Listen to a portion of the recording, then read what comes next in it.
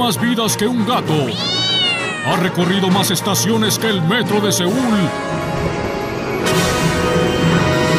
Y ni el muro de Trump la detiene. Las locuras de Viborilda.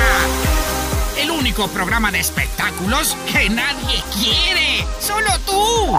Con ustedes. ¿Cómo se llama esta doña? Ivette. Ivette Hernández. Ah, sí, gracias. Ivette Hernández.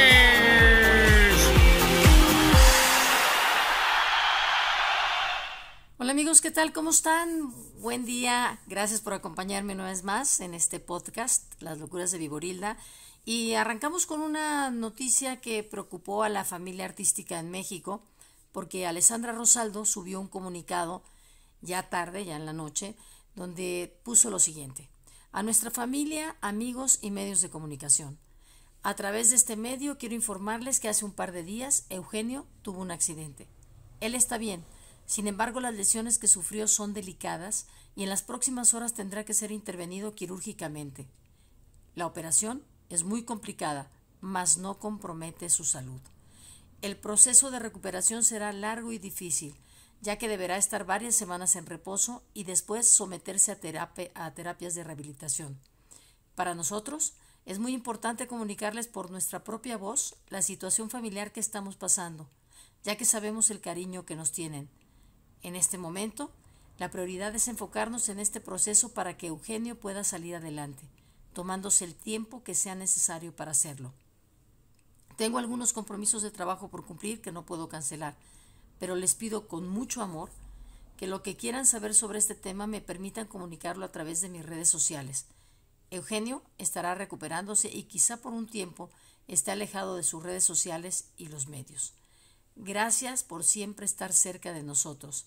Sé que con la buena energía que estarán enviándonos y con el favor de Dios, Eugenio se recuperará muy pronto. ¡Órale, qué fuerte, qué fuerte, carnal! Una, un comunicado un poco confuso, si lo vemos así fríamente, porque por un lado dice que no compromete su salud, pero que es una operación delicada. Si no compromete su salud y es una operación delicada, suena un poco, no necesariamente, pero un poco contradictorio.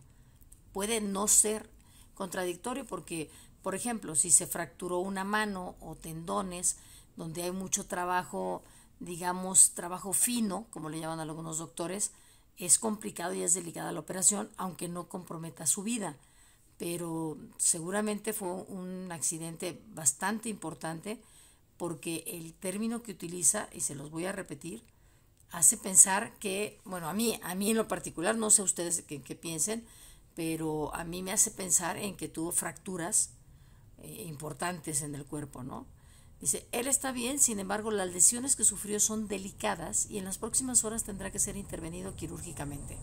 La operación es muy complicada, mas no compromete su salud. De entrada, todas las operaciones del mundo comprometen la salud.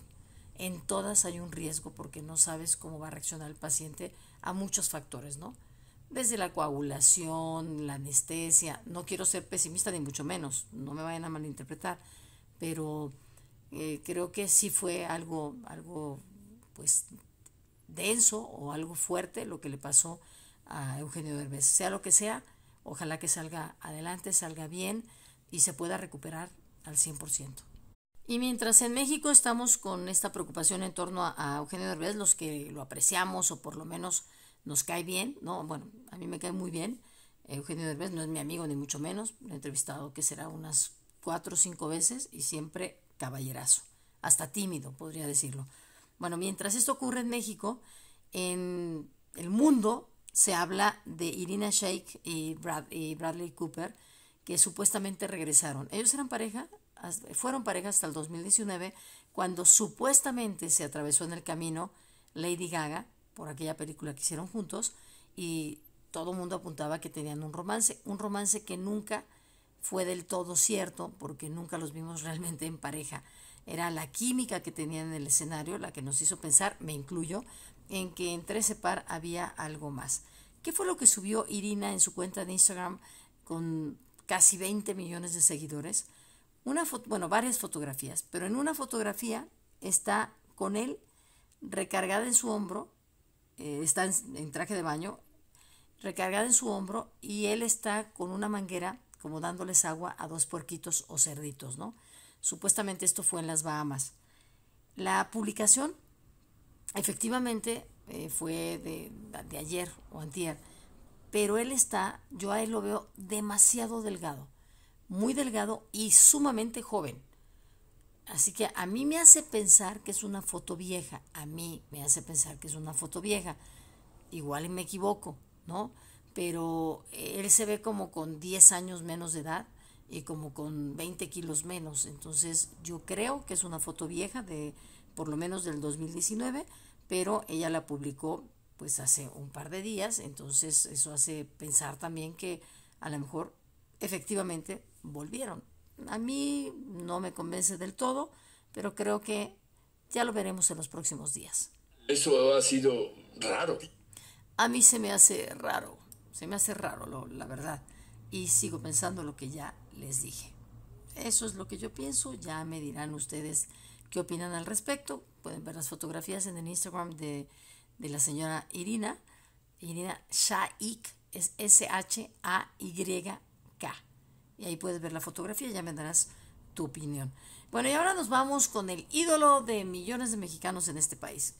AMLO la agarró ahora contra Laura, Zapata, contra Laura Zapata, que ya ven que no es nada dejadita. A ver, sí, ahorita les voy a decir, ahorita les voy a decir. Tell me more, tell me more.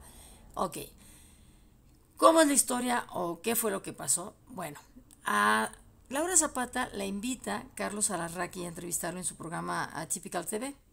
Y de hecho le dicen, esto no es una entrevista, esta es una conversación, si tú quieres decir algo, pues me dices. Y empezaron a hablar de diferentes tópicos. No voy a hacerla muy larga y muy cansada diciéndoles todos los tópicos de los que hablaron, pero llegó un momento en el que ella eh, obviamente confesó que no soporta a López Obrador por el daño que le ha hecho a México y entre otras cosas dijo que el problema, sobre todo con López Obrador, es que con esta administración actual, pues los mexicanos eran menos productivos. Dice, somos un país de huevones. Me, ay, me da, me ayuda, refiriéndose a la gente que pide limosna en la calle. Y este, o sea, Andrés López, Andrés Manuel López Obrador, Andrés Manuel López, miren, ya hasta se me traba la lengua.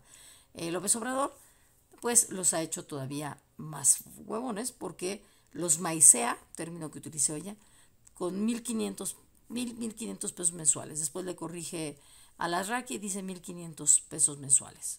De hecho, la frase completa eh, de Laura fue, voy a decir una palabra que me choca, pero somos más un país de huevones, de estira la mano y no me da, deme, deme. Y este, hablo, les avienta, los maicea con dos mil pesos, mil quinientos pesos al mes. Por supuesto, por supuesto, no se iba a quedar callado López Obrador, ¿no? ¿Tú crees que si le están diciendo que este país es de huevones, él se va a quedar callado? Clarín corneta que no, por supuesto que no. ¿Qué contestó López Obrador? Y desde luego que eso no es cierto. El pueblo de México es de los pueblos más trabajadores del mundo. Pero ese es el clasismo. Si el pueblo de México fuese un pueblo flojo, indolente no saldría adelante en ninguna parte. Por cierto que le escucho la voz al presidente como si estuviera enfermo y además habla de, habló de corridito, ¿no? Para contestarle a Laura Zapata, habló de corridito como hacía mucho tiempo no lo escuchaba yo hablar, la verdad. Así que él niega y dice que México o los mexicanos eh, somos, bueno, el país México es de los más, con gente de la más trabajadora del mundo. ¿Ustedes creen que me, los mexicanos somos de los más trabajadores del mundo o que se equivoca? Pero el asunto no quedó ahí, eh, porque pues, ya empezaron a atacarla, por supuesto, ¿no? Desde los mexicanos no somos huevones, la huevona eres tú, o ya se te acabó tu maíz que te daba Talía, ah, bueno, por ejemplo, esto lo dijo a mi amiga, mi gran amiga Yolanda Andrade, es que eh, hay varios semejantes, varios, varios semejantes. Eh, por, por, supuesto, ella, eh, Yolanda Andrade, que le encanta presumir que es amiga de Talía. Ay, Talía, buena la hora en la que te relacionaste con esta mujer, ¿eh? Tan es así que, bueno, eh, utiliza la imagen de Talía. Textual contesta en sus redes sociales, Yolanda Andrade, los mexicanos no somos huevones, la huevona eres tú. Ya se te acabó tu maíz que te daba Talía, ponte a trabajar. Ya se te acabó de tu maíz que te daba Talía, ponte a trabajar. Siempre tan oportuna y tan metiche, Yolanda Andrade. A mí me encanta vivir del chisme, me dicen la metiche. ¿Sí le gusta? Sí. ¿Por qué le gusta, señor? Este, porque vivo sola y entonces pues en algo me tengo que entretener, ¿verdad? Haz de cuenta, Yolanda, que nada más está viendo en qué se mete. Y no voy a defender a, a, a, a Laura Zapata porque yo llevo una muy buena relación con Laura Zapata, me llevo súper bien con ella, tengo su teléfono personal, pero creo que sí fue fuerte esta declaración, aunque tenga parte de, de realidad, creo que es muy agresiva la, la respuesta de, de, Laura Zapata, pero no crean ustedes que se achicopaló por los ataques, porque de este tipo como el de Yolanda Andrade recibió muchísimos. Y ella contestó, fue contestando, ja, ja, ja, ja, ahora sí me hicieron el día. Me acusan de racista y clasista por exponer mi pensamiento en el programa de Carlos Alarraqui. ¿De verdad? ¿Qué nivel? Les molestan las verdades y entonces la lluvia de insultos. Los que siempre dicen y que si estoy amargada, vieja, fea, pobre, que si me paga la derecha, que vivo en la tribulación porque mi hermana Taría se casó con un rico, que si soy de Taravisa, que si vivo en Calvario porque mi hermana es más famosa que yo, que no soy famosa porque hace años no hago nada. Ja, ja, ja, qué divertidos. Y sigue diciendo Laura Zapata. Y pobres de espíritu, los más bajos tratan de herirme con la partida de mi amada abuelita, como si ellos no tuvieran abuelas muertas. Que mi calvario, ¿cuál? me pregunto yo. Es que nadie sabe quién soy, que vivo de la limosna que me da mi hermanita, que se me acabaron los privilegios con este presidente, etcétera, etcétera. Ya pónganse a trabajar, bola de huevones, estiramanos y recibe limosnas. Saquen la casta y dejen de vender la poca dignidad que les queda ante tal desgobierno que está acabando con ustedes y con mi amado México. Eso fue lo que les contestó. O sea, nada leve, ¿verdad? Se fue con todo. Dijo, ah, ¿quieren, me están atacando, quieren ataque, pues ahí les va la mía. Así que se defendió Laura Zapata, por supuesto, tú puedes opinar aquí en el chat. Me encantaría que lo hicieras y aprovecho mientras empiezas a comentar para decirles que Hoy a la 1.45, terminando este podcast, voy a liberar una entrevista con, con Leti López. Está bastante entretenida, creo yo, la entrevista. Nos habla de su embarazo, de lo que pasó, de, de bueno, tuvo hasta parálisis, ¿no? Mientras estaba embarazada, se le subió tanto la presión que se paralizó una parte de la cara, eh, o sea, tuvo varias, varias broncas durante el embarazo. Nos platica de, de esto y, algunas cosas más. Y por cierto, me quiero curar en salud desde ahorita porque bueno, hace ya tres días que nos traigo, ahora sí que digo una cosa porosa, obvio estoy diciéndolo en broma, una cosa por otra, porque ayer quise decir feliz, es que de veras, de veras traigo, traigo como, yo creo que ya necesito vacaciones, yo creo que ya me voy a dar vacaciones un año de ya no hacer podcast, porque aún teniéndolo apuntado, viéndolo y leyéndolo, porque bueno, obviamente para darle un, un seguimiento hago notas, ¿no? O anotaciones y ayer, por ejemplo, tenía apuntadísimo, apuntadísimo, aunque usted no lo crea, cuando estaba hablando de Felipe Gil, antes Felipe Gil, ahora ya Felicia, se me salió decir Felicia Mercado y ni cuenta me di en lugar de decir Felicia Garza, ¿no? Y en la entrevista que ustedes van a ver con, con esta mujer, con Leti López, hay un momento que le pregunto algo que pasó en la academia con el grupo que llevaba, que lo conté en este programa, que además estuve como tres semanas anunciando este espectáculo, el de México de Colores. Y yo en la entrevista a Leti le digo, hasta que la vi, dije, no, bueno, bueno, ¿en, en dónde traía la cabeza? Yo le decía, México de mis amores, y ella me contestaba, sí, México de Colores es un ta, ta, ta, ta. Y luego seguía el tema y yo, es que México de mis amores tal, y, y ella me contestaba muy educadita porque nunca me corrigió, que me hubiera encantado que me corrigiera para no cometer el error dos o tres veces, pero creo que ya es el signo de que necesito unas muy buenas vacaciones. ¿Cómo ven? Me voy un año y luego ya nos vemos para el 2023, ¿sí? Porque ya le estoy cambiando el nombre a todos. Al rato voy a decir que me llamo Ivette, Mónica Ivette, ¿no? Cuando en realidad no me llamo Mónica Ivette. Y le estoy cambiando el nombre a todo mundo. Y no es que no lo sepa, creo que queda claro que, que no es que no lo sepa. Como en el caso de México de Colores, yo ponía el spot, o sea, yo todos los días ponía el spot de México de Colores y ese día México de mis amores. Y le comentaba a Leti en un recado, digo, seguramente te veía tan amorosa, tan cálida, que en mi cerebro se quedó, pero fijo, el México de mis amores en, en lugar de México de Colores. Así que si tienen la oportunidad, por favor, háganme, échenme la mano. Vean cinco minutitos, si les gusta se quedan y si no, ya no, de esta entrevista se libera, terminando este podcast, una 45, una 47 probablemente, pero una 45 se libera este programa, esta entrevista con, con Leti López. Y nos vamos con otra noticia que, que triste, ¿no? ya habíamos platicado del fallecimiento del papá de Carlos Rivera, pero lo que le escribe Carlos Rivera también me enterneció muchísimo. Dijo Carlos, jamás se está preparado para despedir a un padre. Al menos yo no lo estaba. No lo estoy. ¿Cómo soltar a mi mejor amigo? Mi fan número uno, al mejor alcahuete de todas mis locuras, a mi hombre fuerte que no le tenía miedo a nada ni a nadie, y que la única cosa que le hizo temblar fue el maldito Parkinson cuando apareció. Yo me quedo aquí, extrañándote hasta mi último respiro, hasta ese día que te vuelva a ver para abrazarte y escuchar tu voz diciéndome, mi niño. Hasta ese día volverá a estar entero este corazón que se ha roto en mil pedazos. Hasta ese día volveré a ser el mismo. Me vas a hacer falta siempre, papito. Siempre. Te amo por toda la eternidad. Es un buen tipo, mi viejo. Qué bonitas palabras, ¿no? De Carlos Rivera. Qué, linda.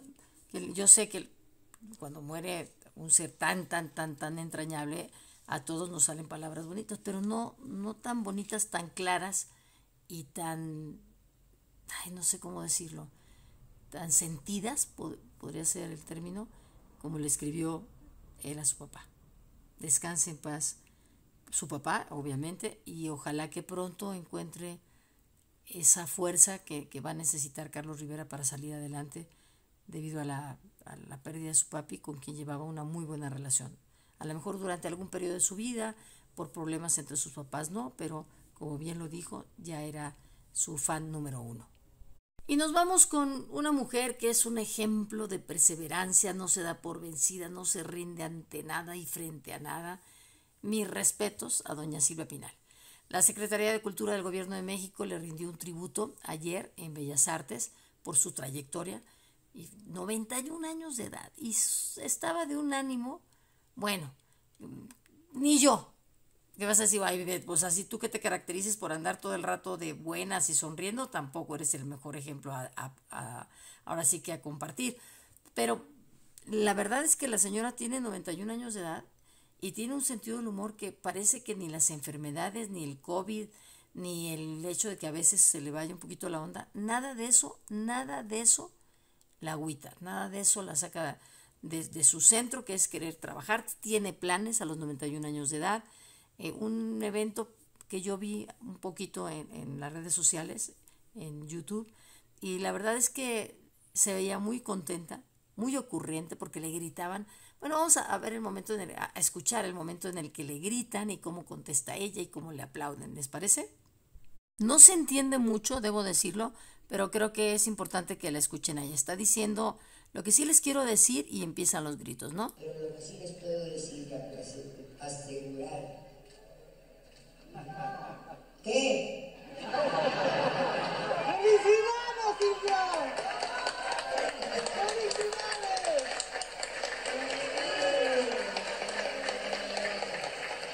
Oh, muchachito, muchachita. ¿Qué?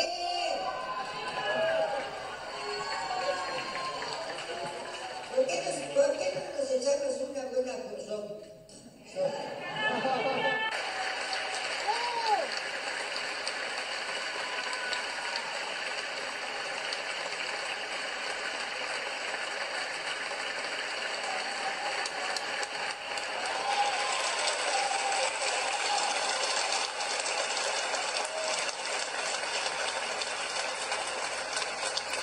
Bueno, aquí una parte del aplauso y ella eh, en silla de ruedas, así como levantando los brazos de cuando echas porras tú solo.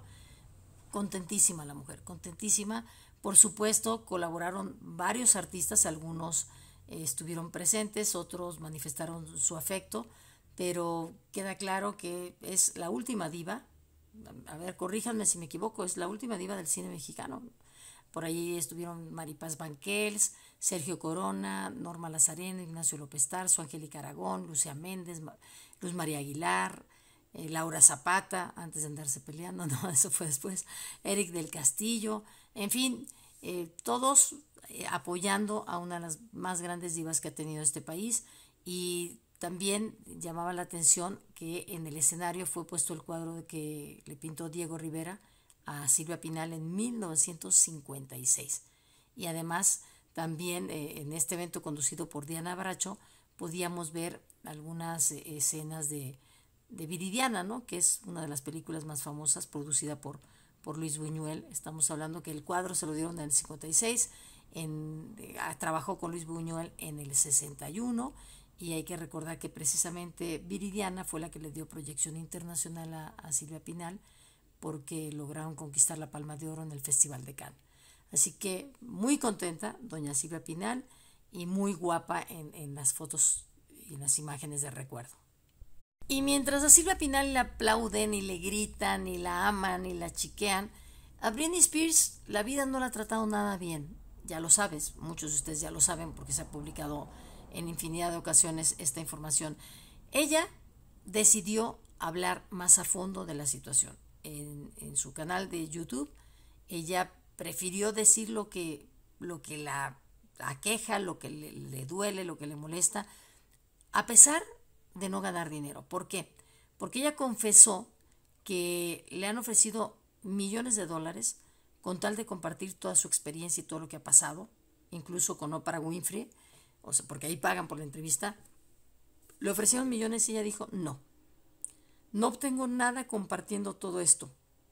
Tengo ofertas para hacer entrevistas con Oprah y mucha gente por montones, pero montones de dinero, pero es una locura. No quiero nada de eso. Para mí, para mí esto va más allá de una entrevista. Comparto esto, dijo Britney Spears, porque quiero que la gente sepa que soy humana. Me siento victimizada después de estas experiencias. ¿Y cómo puedo superarlo si no hablo de ello? Me hicieron sentir que no era nada. Y lo peor es que yo lo aceptaba.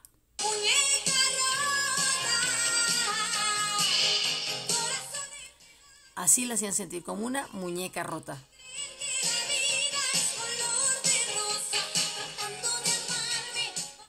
Bueno, pues ella justo estaba tratando de amarse y de reencontrarse y por eso dijo, quiero hablar y ahora sí, como diría Niurka, y que la gente sepa mi verdad. Ni siquiera hoy sé qué hice realmente, pero no me dejaban ver a nadie. Nada tenía sentido. Tenía que hacer todo lo que me decían. Me decían que estaba gorda todos los días, que tenía que ir al gimnasio. No recuerdo haberme sentido nunca tan desmoralizada, ni que me hicieran sentir como si nada. Y yo estaba de acuerdo porque tenía miedo. Incluso se atrevió a decir que sus actuaciones en Las Vegas eran horribles porque ella no estaba al 100%. Que hubo una vez, o sea, para que nos demos cuenta del nivel de, de presión, de bullying, de maltrato psicológico que sufrió, que en una ocasión mm, dijo que no quería hacer un paso de baile. Dijo, no, ese, ese paso no lo quiero hacer. Y al día siguiente, porque no quiso hacer el paso de baile en su coreografía, le dijeron que debía ser ingresada en un centro de salud mental.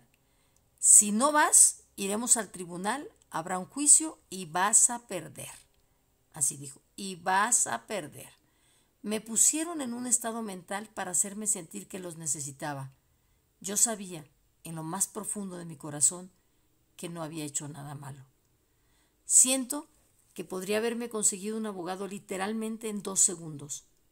Al final, mi amigo me ayudó a conseguir uno pero cada vez que me ponía en contacto con una firma de abogados, intervenían mi teléfono y me lo quitaban.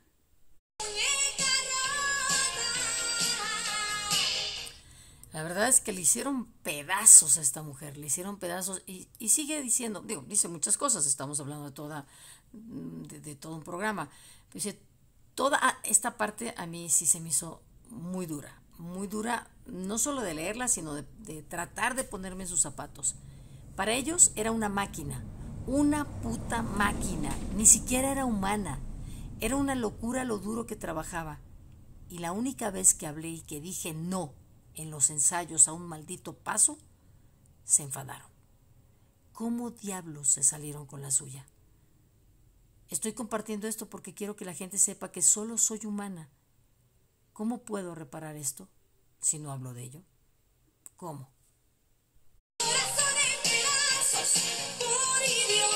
Wow, y que eso, te lo hagan tus propios padres, híjole. A su mamá no la perdona porque prácticamente le puso en bandeja su vida para al papá, ¿no? Y el papá, bueno, ya sabemos cómo, cómo se portó. Lo que no sabíamos, o al menos no, no hay pruebas de ello, aunque seguramente conforme pase el tiempo van a surgir, es que eh, probablemente sea Clara, la pareja de Piqué, la novia de Piqué, quien ha de alguna manera como ayudado a que los medios de comunicación a nivel internacional se enteren o se enteraran de la relación que tenía con el jugador, con Gerard, ¿no?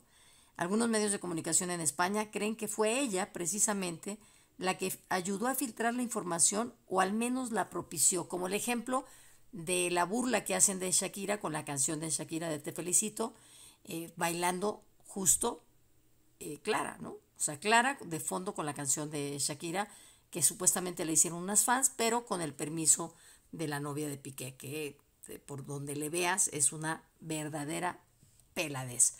Pero tanto así como añadir o asegurar que ella es la que está filtrando las cosas, no se había dicho que yo sepa hasta el momento. Anda, mi madre, pues yo no sabía eso. Pues hombre, que nosotros tampoco lo sabíamos, pero ahora nos estamos enterando.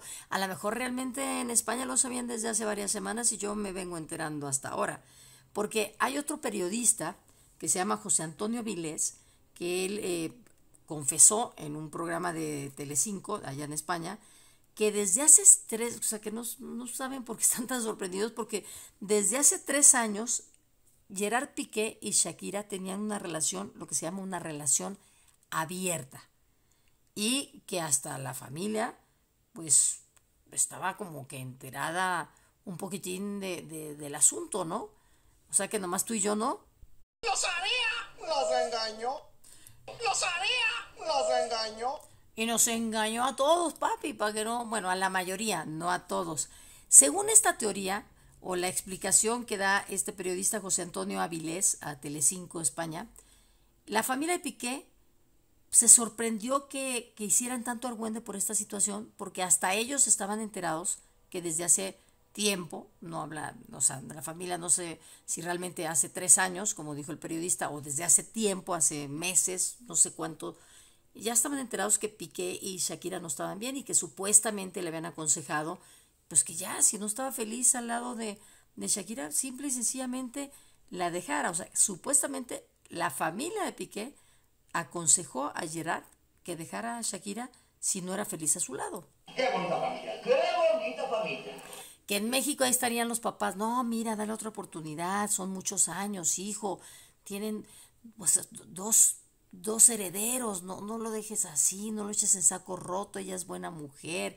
Y ahora ya se voltearon las cosas porque les echan, le están echando porras a, a Clara, Dicen que Clara se adaptó en tres patadas, ¿no? En, meses, se adaptó al, club y a ser amiga de, de, todas las demás del club, mientras que a Shakira no la soportaban, de hecho le decían la patrona, porque siempre se mantenía como que al margen. A ver, vamos a poner las cosas en contexto. No es lo mismo ser una figura mega recontra famosa a ser una chavita de 23 años que hasta el momento se está viendo como trepadora. Vamos a ver si el tiempo realmente refleja que es trepadora o no. Por cómo está actuando, parece una trepadora. Trepadora de bajo perfil, si tú quieres, pero trepadora al fin y al cabo. O sea, no es la, la mujer voluptuosa ni mucho menos, pero mmm, a mí sí me, me, como que me queda en el perfil un poquitín de trepadora, porque, pues la verdad, la conoce en un bar o en un restaurante. Creo que es un bar, un bar que se llama La Traviesa, ¿ok? Un bar llamado La Traviesa. Platican, le cae muy bien, platican y ella le cuenta que además de trabajar en el bar, eh, está estudiando relaciones públicas. Y así, de esa plática, de lo bien que le cayó, Piqué le da una beca para que siga estudiando tú. Así soy yo, un hombre de sorpresas. Cálmate, Piqué, cálmate, cálmate, mijo. Bueno, y mientras tanto también empezaron las especulaciones, ¿no? Especulaciones, por ejemplo, que ella tampoco es una blanca palomita, empezaron a atribuirle romances desde eso antes pasó y ahora lo retomaron, que supuestamente había tenido romance tanto con, eh, con Alejandro Sanz como con el mayor, yo digo que es el mayor tenista o el tenista más importante que ha tenido ese país. Tú me dirás si consideras que sí o si hay algún otro tenista que creas que es mejor. No, pues me corriges. Pero me corriges en serio. Porque para mí el mejor tenista que ha tenido España es Rafael Nadal. No sé si para ustedes también, que por cierto qué cuerpazo tiene Nadal, ¿eh? Muy buen cuerpo. Bueno, pues le atribuyeron y ahora lo sacan, les digo, a la luz, lo traen al momento, al presente, eh, romances con Alejandro Sanz y con el señor Rafael Nadal. ¿Tú crees que eso es cierto o que nada más están tratando de abollarle un poquito la reputación a, a Shakira? No creo. No creo. Mm, Bueno, vamos por partes, dijo Jack el destripador.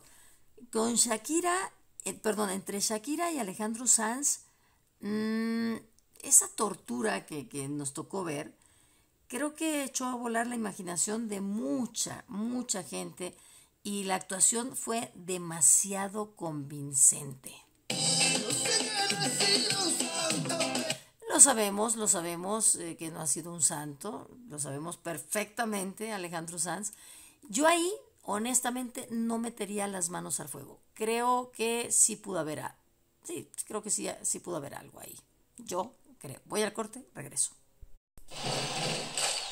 El mejor tributo a Queen. Dios salve a la reina. Revive los grandes éxitos de la banda legendaria Queen. Auditorio Telmex 7 de septiembre, 21 horas. Boletos en taquilla y Ticketmaster. GNP presenta The Silence of Sound en conjunto Santander con Alondra de la Parra y Gaby Muñoz, Chula de Clown. Un espectáculo audiovisual sobre la belleza y el poder de la música con la Orquesta Sinfónica de Minería 9 y 10 de septiembre. Boletos en conjuntosantander.com.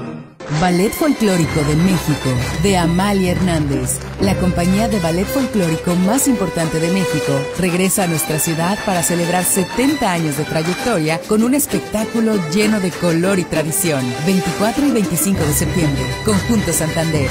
Ven a celebrar el orgullo de ser mexicanos. Boletos en conjuntosantander.com.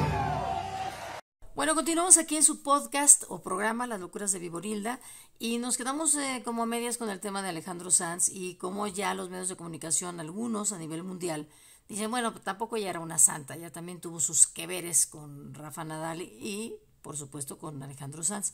Hay que recordar que la canción de la tortura de Alejandro Sanz no se atravesaría en la relación de, de Piqué porque la tortura salió, si no me falla la memoria, en el 2005 y Piqué y Shakira empezaron a andar en el Mundial de Sudáfrica en el 2010. ¿Me equivoco o estoy bien? Ahí empezaron a guaca guaca. Y luego ya guacareó cuando salió embarazada ella. Así que por ese lado, no. Con Rafa Nadal, pues quién sabe, a lo mejor le gustaba que le, que le agarraran las bolas. O sea, a Rafa Nadal, que le ayudara a ella dándole las bolas cuando entrenaba las que se salen de la cancha. No sean mal pensados, no sean así muchachos. Pero si querían involucrarlos diciendo que había un romance precisamente por la grabación de, del video que les comenté de la tortura con Alejandro Sanz, por ahí no es el asunto, ¿eh? Las cuentas no me están saliendo a mí, vale. Pues no, no salen las cuentas porque no fue en su tiempo. Y lo que no fue en tu año no te causa daño. O como dice el refrán, lo que no es en tu año no hace daño o te vale madre, ¿no? Algo así. Por ahí va el asunto, por ahí va. Y cambiando de deportes, les comento que el concierto que ustedes estaban esperando, muy emocionados, de Marco Antonio Solís con los Bookies, se pospone. Ay, no puede ser. Ay, tampoco, tampoco es para que se pongan a llorar, ¿eh? no es para tanto. Nada más se pospuso para el 2026. No, no es cierto. Se pospuso, ay, una semanita, no es tanto, no es tanto. Estamos hablando, por ejemplo, que, para que se den una idea, voy a hablar globalmente porque de repente me puede oír alguien en Tijuana o también alguien en Monterrey. El 4 de septiembre iban a estar en Tijuana, pues se pasa al 19 de noviembre. En Guadalajara, el 15 y 16 de septiembre se pasan al 25 y 26 de noviembre, dos meses. Y en Monterrey, del 10 de septiembre al 10 de diciembre. Todo esto porque eh, se lastimó, se lastimó uno de los principales integrantes de los Bookies, al que creo que más ubica la gente, que es Eusebio, el chivo. Él se cayó del escenario y se fisuró el pie, así que lo van a esperar por respeto a la integridad física de nuestro querido chivo, dijeron los Bookies, y aunado al amor de nuestro amado público que merece ver un espectáculo tan único y esperado, hemos decidido reprogramar algunas de las fechas para darle tiempo a su recuperación. Así que hay que esperarlo, no desesperen ustedes, ya llegará, ya llegará, jovenazos. Y la espera va a ser que les sepa más rico el asunto, ¿no? Bueno, no el asunto. no, el asunto no. Que disfruten más el concierto, es a lo que me refería.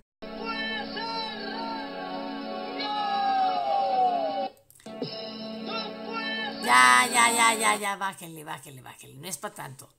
Hay conciertos que se reprograman un año o dos años después, así que no es para tanto, no es para tanto.